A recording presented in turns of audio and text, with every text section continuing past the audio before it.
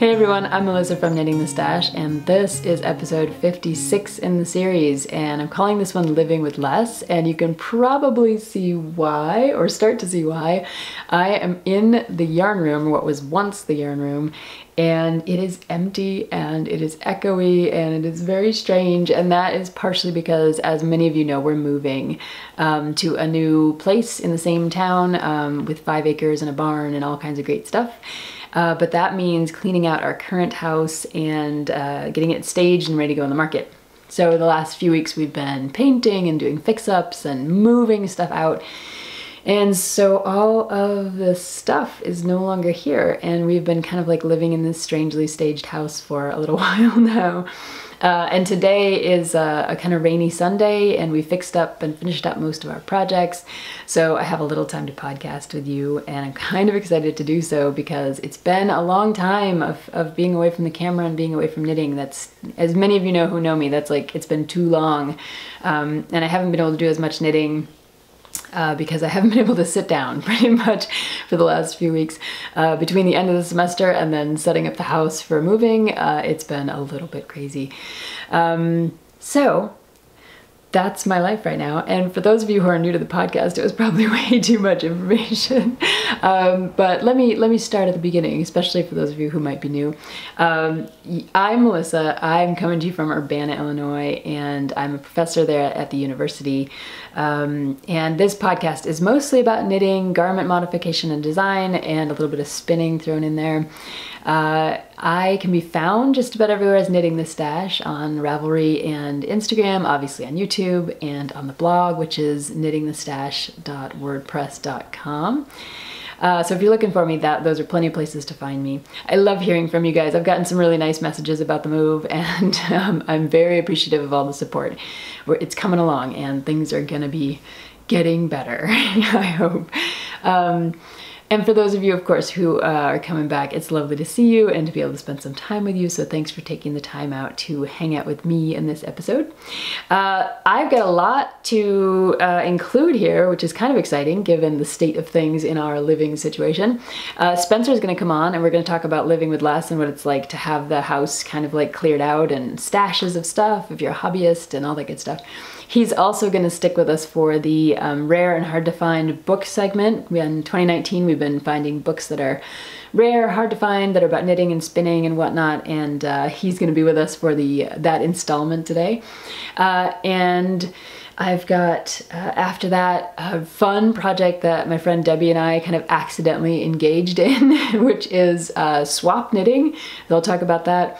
And I've got a funny, cool new Ravelry group for you to check out um, that I'll talk about at the end of the podcast. So right now I'm going to send you over to Spencer and me talking about living with less and then I'll come back and talk to you about the knitting swap. I'm here with Spencer which is pretty exciting since uh, he's always fun to have on the show and you guys seem to enjoy his company as much as I do. Is that true? And I think so. I think you haven't had like people shutting you down and stuff. No, people always like it when you come on. It's right. exciting, yeah. Okay. Yeah. So we are here together to have a little talk about living with less. I was thinking it was called less living. Sometimes it feels that way, I think. So I, uh, in the introduction, you you heard me talk about the fact that we're moving and the fact that we are have a fairly empty house and this was once the yarn room and now it's it looks a little bit like a guest room now I'm, i know it's I'm kind of happy about kind that kind of depressing i think it looks better but I've been coming up here because it's pretty much the only place we moved the couch that I can hang out on. She's kind of so. like, like you know, if you have a cat and you move houses, they go back to the other house. This well, guy. This she guy keeps coming back, back to the, yarn room and just kind of sitting here. and just kind of looking around and thinking, wow, we painted the walls, we took all the stuff out of it. It's really kind of weird. Soon you'll have a new yarn room. I know the next the new house has a new yarn room. So we thought we'd talk a little bit about what it's like to live in a house with less, given that both of us are huge hobbyists and I have a stash. I don't know what you what do you call a wood shop? You have a wood shop. Yeah, you just have your supplies. Supply. Well, you wouldn't call it stash. Oh, I could. But, but that would that supplies. yeah, I don't, I don't know. No, I think my stash. Actually, if I was going to talk about my stash, it'd be like if I was digging back for like hinges and metal and. Okay. But actual wood and steel and stuff. That's all just, your su- supplies. That would just be yeah, like what's on. But are they are they the same? Is stash the same as supply and supply Yeah, the same as stash? yeah, because I think it's like you, your materials for building or making. Yeah, you have like 20 cubic yards of yarn normally right here. Normally, yeah, we wouldn't be able to And get close yeah, to you this make wall. stuff with it. And the same thing if I had like steel or wood or whatever, Okay. plexiglass. But you haven't gotten rid of your stuff yet. It's not I dumped a lot. I but it's not in storage, it's No, not- the tools are not. I have a reason for that. Since we've been working on the house, The rest of the house, by the way, is like pretty empty. Like the realtors Super who came over actually looked at us at one point and said, "Do you still live here?" It's that it's that empty. Like we have it staged, but it's like yeah, we kind of stripped it out. we took all our stuff and put it in storage, and then we took all my stash and put it in my office, which Mm-hmm. I'm sure is totally like She was worried about it. code, you know, to have But all there, your but there were there. ants in the storage area, so that's probably good. Yeah, see, my stuff is safe. I wasn't gonna put my yarn and fiber in the storage area. All right, so here's my question for you about this less living thing. Um, do you think that people are inclined to work in different hobbies based on their desire to acquire stuff? So, for instance, Yeah. like someone who's a graphic designer, they might just use Photoshop and they don't have a bunch of crap around. Well, we have friends who are illustrators. Hi, Amy. and she has very, she's very minimalist. She has her computer and she has some some little things that she likes to look at So you think you kind of got into knitting and spinning and stuff because you like spinning wheels Well, and I- knitting needles and No, yarn? no, I don't. I mean, I think because I like, I learned about yarn and then I started liking it. But when I first started knitting, I thought you had to have a stash. Like if you didn't have a stash, you weren't like a real knitter. So I actually, I had a student who was graduating and she was leaving and she had, she was a knitter. And she's like, I'm selling my stuff, my stash. And I was like, I must acquire a stash. I had nothing at this point. I had, a I had a little. Do you remember? I had a little with. basket with like two Oh, balls I of yarn remember in it, and that was it. I It was built like I built Melissa this shelf for her yarn stuff. And it had and like it had books this basket for the yarn. and a little that was- basket for the yarn. And it quickly was just blown out. right. So I bought this stash from my student, and it was like kind of funky, weird yarn that like I, I never ended up knitting with, but I just I felt like I Yeah. needed a because I didn't understand that your stash would just you just acquired over time if you were that kind of Well, that's how you stashed out at first. You just Yeah, got a bunch and then I got rid of it. People do that with um like I know a guy who bought a blacksmith shop, but the whole damn shop, everything, even though he didn't have, know how to blacksmith. What did he do with it? Well, he learned. He learned slowly over time how to blacksmith. but it just you like whole hog. But whole yeah, yeah, actually, I think someone actually just gave it to him. Oh my god, that would be cool. So you know, people do that. So we have that kind of stuff happen in the guild where someone will pass away or someone move out of town and they'll kind of want to just get like get rid of their stuff, pass it on, and they often leave it to the guild. We just had a big hmm. Sale for um, Sharon Rapp's stuff um, and made like a ton of money for the education fund for the guild. And it was like the distribution of her stuff. It was kind of like a very sad but very cool kind of way of seeing stuff happen like that. I guess like to see your stash distributed again is also weird. so So I was gonna. Go Uh, oh, I was just gonna say that um, I do sort of envy people who just have a small kit, um, like kits. There's another word. like leather workers who. Yeah. I mean, you can have a lot of leatherworking tools, but it can usually like fit in a suitcase or a briefcase or like Yeah. the side of the room or Like I've got like you know one of those interchangeable needle sets, and it's like everything fits in this little. Sorry, that was in your face. Everything fits in this little package. It's like a little go bag. It's all you yeah, need. like this is what I if I'm traveling. I But you've been everything. missing your notions bag. Oh my god! I finally found it. It had all my stitch markers in it. Oh, I was in the middle. okay. It was just in another. She was freaking out. My God. Where's my bag with all my? I was like, use a pocket knife. Just you know. Right, that's helpful. Okay, so the other thing we've been talking about this living with less thing, I mean, because we're like, the room is echoey, the house is a little echoey, it's just a little strange for us. I think it's really healthy because I hate clutter more than I hate dirt. It's been pretty good. So I really, Yeah. it's like Cool. clean surfaces. We can't even mess stuff up because there's nothing here to put on them. Really, it's great. like I love that part. But we also, as we were cleaning out the house, I, as a joke, I kind of put on the what's it called, tidying up with Marie, Oh, Marie yeah. Kondo. Yeah, yeah, yeah. And so we were watching Marie Kondo a little bit and kind of laughing and just like the other day, then we were like, "What is joy anyway?" Like, She what- has that. you- I'm sure you know her, but she has the idea that you um, you only keep the stuff that bring you joy. right. So we were joking And you're supposed like, to pick each thing up and like hold it and think to yourself, "Does it? Does this bring me joy?" So we were joking about like needing to throw away the toilets. Right.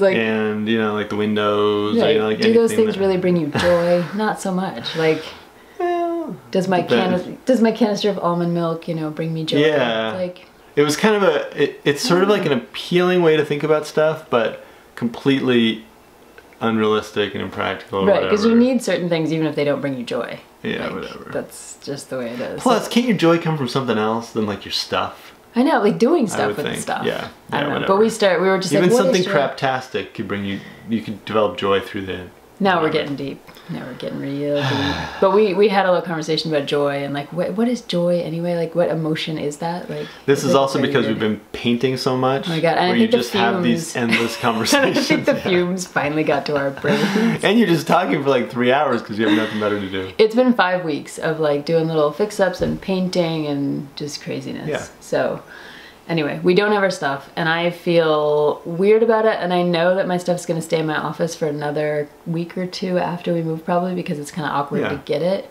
You've been off kilter, like you haven't been able to be knitting as much and Just visiting the yarn. doing as much stuff. But you'll get back to it.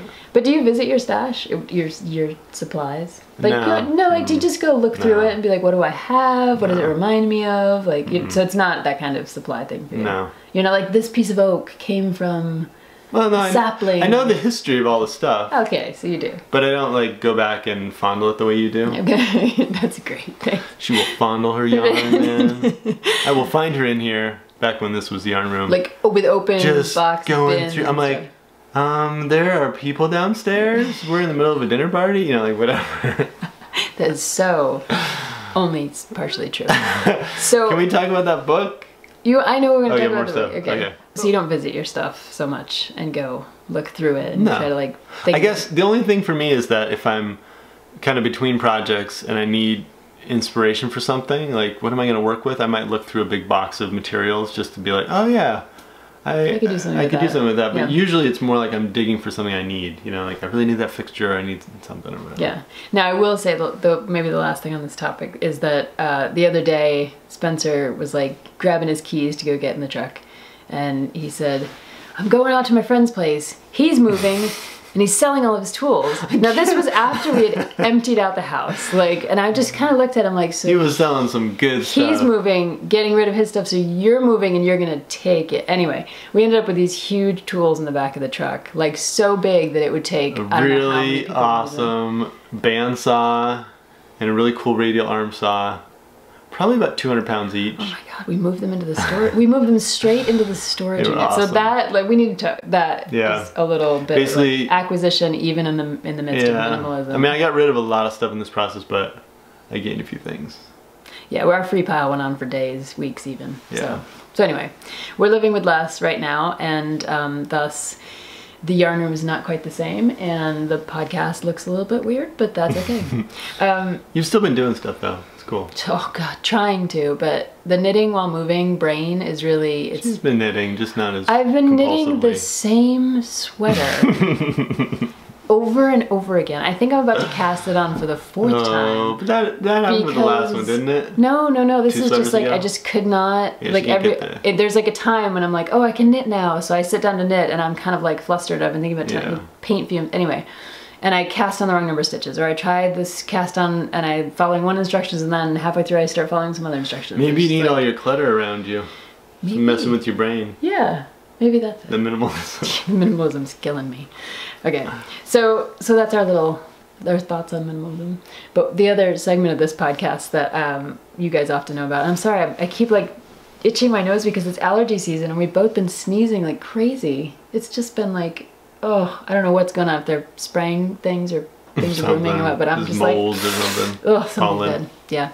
Um, so the other part of this podcast that uh, I always segment that I always do on here is the kind of rare and hard to find knitting books or spinning books. It's a little bit nerdy. It's my nerdy section. I love it.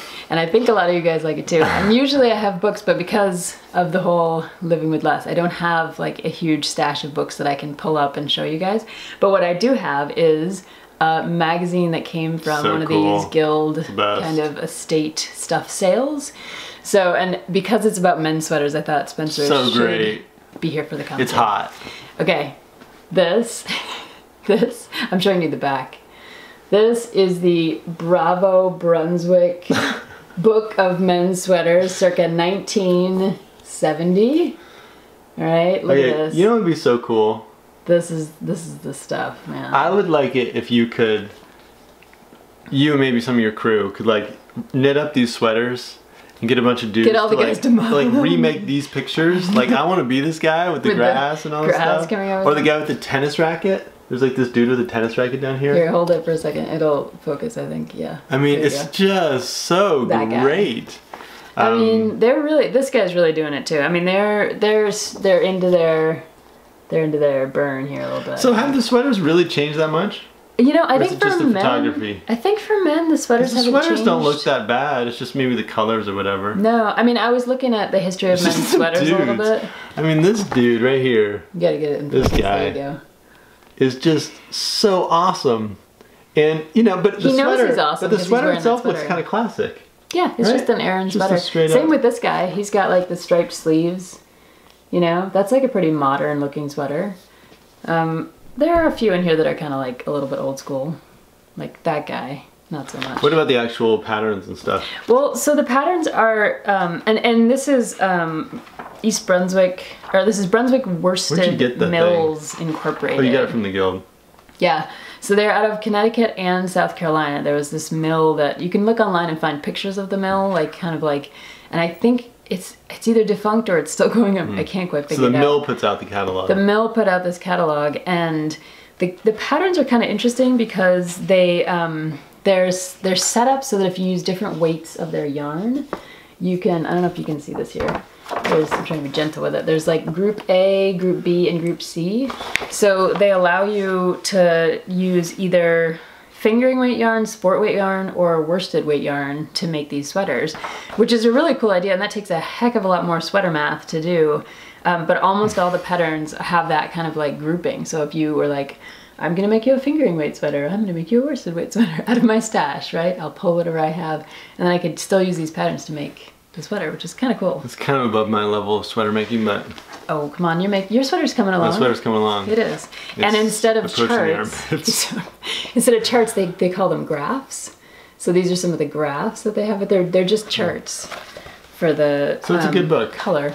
Yeah, But you could take some of these and maybe update them. I think so. And the one you were pointing to, so cool. this guy. This dude. I mean, check it's just, guy a, out. it's just an Aran Weight sweater. It's actually called Aran Sweater, style number six six one five. Sunglasses, man. And it's the it's just the styling of these that's so interesting. The tight pants and the kind of like Great.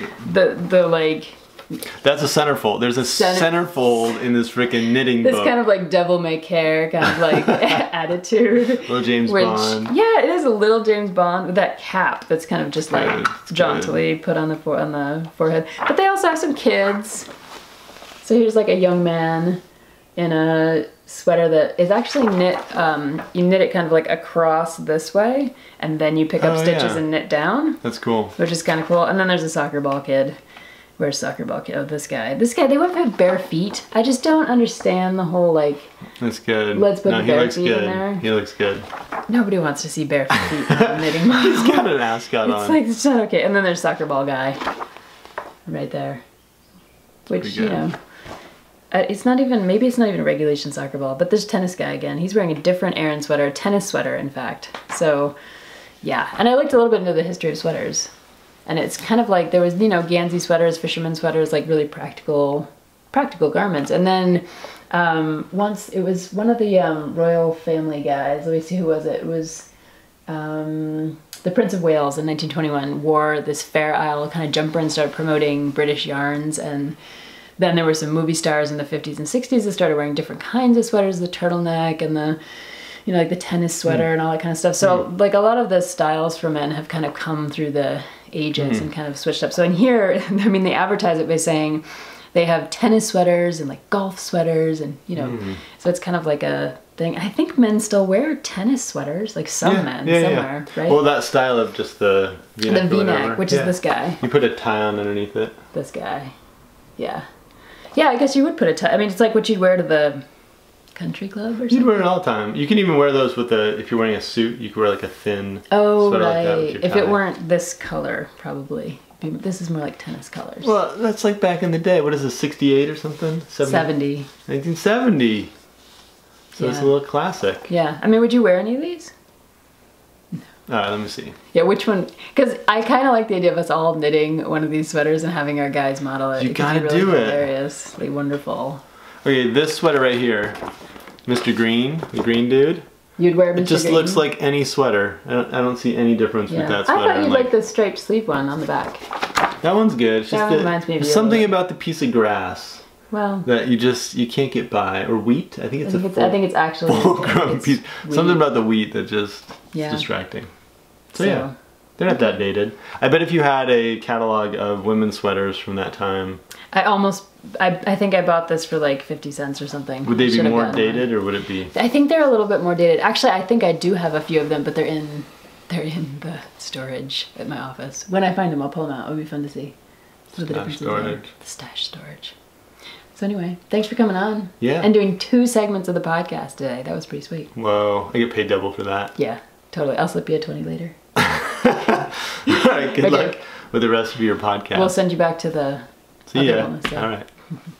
Well, I hope you enjoyed those two segments of the podcast. Uh, it was really nice to have Spencer on here as usual. And of course, I kind of like that idea of us all knitting the uh, sweaters from a book of men's sweaters. So if anybody's interested, maybe I'll start up a Ravelry thread and just for fun, why not? I mean, who knows what might happen in the knitting world? You guys are all just about as crazy as I am sometimes. um, okay, so the, the uh, last couple things for today um, are about the first one's about swap knitting. So, if you've been watching since episode one, or if you've ever gone back and watched my introductory um, episode, you may have encountered the entrelac scarf. Now, this was a scarf that I was knitting. It was the first knitting project I really engaged in when I got back into knitting in 2012. Um, and it is a pattern uh, by Lisa Shroyer. It's called the Basic Entrelac Scarf. And I'm going to pull it up here so I can show you um, this photo of it. It's not even that great of a photo on Ravelry. It's kind of it's kind of funky that way. So there it is. That's the basic entrelac scarf. And it's by Lisa Shroyer. And I uh, have no actual recollection of how I found this scarf when I first started knitting again, but I saw a picture of it and it was a free pattern. And I was kind of excited because number one, free pattern, and number two, uh, entrelac. And I thought, why not start knitting with entrelac? Not knowing anything about, just kind of like, you know, let's maybe start with the basics. Eh, I, I don't really do that in my life. Um, so I picked up this pattern for the entrelac scarf, and then I went on YouTube and found the best teacher in this uh, woman whose handle was I knit with cat fur. Not kidding. She still puts videos out and she is a great teacher. And I, she was knitting an entrelac scarf and I would basically turn her video on, play it, do the five stitches I could manage, and then rewind it and keep going. And she led me through how to do entrelac.